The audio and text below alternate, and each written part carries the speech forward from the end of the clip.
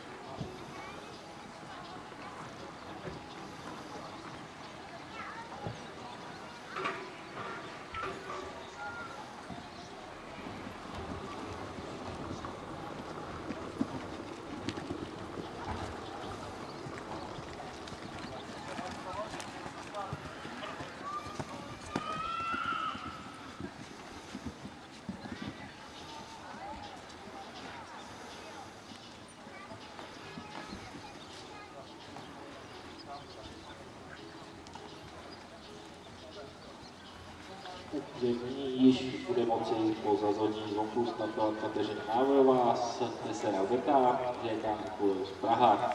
Výsledek Lenky Šlechtové, čtyři trestné body v čase 76-72.